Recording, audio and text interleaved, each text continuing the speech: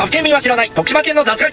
徳島県では、嘘のことを、おげという、おげーって思いますよね。これは徳島の方言、いわゆる阿波弁ってやつで、嘘はおげ、嘘つきはおげったと言います。なので、阿波弁では、あいつは嘘ばっかり嫌がる、お、あいつはおげばっかり言い腐る、と言います。じゃあ、優しい嘘のことを、優しいおげって言うんかな。登録よろしく。他府県民は知らない徳島県の雑学。徳島県民は、せこいという言葉を、ケチという意味で、使わない。えーって思いますよね。せこいって言ったら、普通、ケチ、ずるいって意味ですが、徳島県民は、しんどい、胸が苦しくなるという意味で使います。なので、徳島県民から、どうしたん？せこいって聞かれても、お前ずるいねって言うてるわけではないので、ご注意を。登録よろしく他府県民は知らない徳島県の雑学徳島県民は、我が家のことを、うちんくという、ええー、って思いますよね。スイッチ欲しいな。あ、うちんくあるで、みたいな会話だそうです。どうなってる？うちイコール自分、んイコールの、くイコール家。後半がマジで意味不明。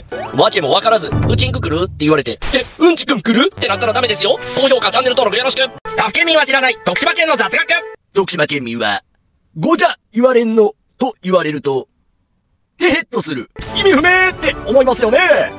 徳島の方言で、ごじゃは、でたらめ、や、間違い。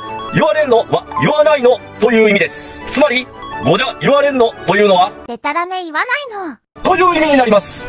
ちなみに関西弁で言うと、アホ言うな、なります。いやー、アホ弁、可愛いですね。高評価、チャンネル登録よろしく他府県民は知らない徳島県の雑学徳島県民は、この状況を、負け負けいっぱいという、意味不明って思いますよね。負け負けいっぱいって聞いたら、え、誰かに敗北したって思いますよね。そもそも、阿波弁では、こぼれることを負けると言うんです。なので、こぼれそうで、いっぱいいっぱいという意味から、負け負けいっぱいというそうです。ちなみに僕は、お仕事くださいと言ってもらえない状況が続き、営業成績負け負け100敗です。誰か助けて他府県民は知らない、徳島県の雑学クイズ徳島県で腹が起きる、どういう意味？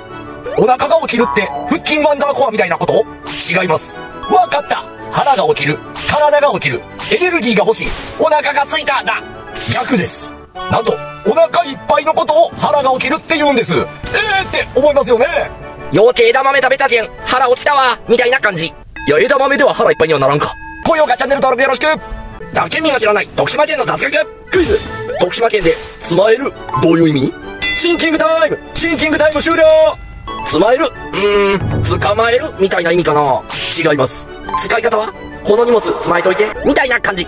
そう、正解は、捕まえる、じゃなくて、片付けるって意味です。あわ弁早口言葉。爪楊枝つまえたやつ捕まえといて、爪楊枝つまえたやつ捕まえといて、爪楊枝つまえたやつ捕まえといて。クイズ他府県民は知らない徳島県の雑学徳島県で、どちらイカどういう意味？どちらイカね。イカとタコがあって、どちらかというとイカ。略してどちらイカ。ではありません。これ、衝撃の答え。分かった人は今のうちにコメント欄に書き込んで。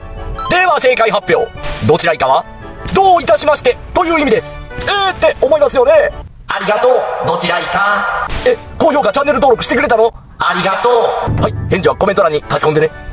クイズ他府県民は知らない徳島県の雑学徳島県でしばしば生きよどういう意味？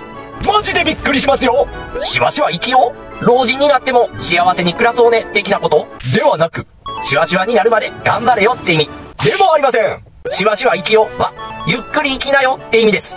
えーって思いますよね。うちのチャンネルめっちゃ動画あるのでしわしわ見ていってね。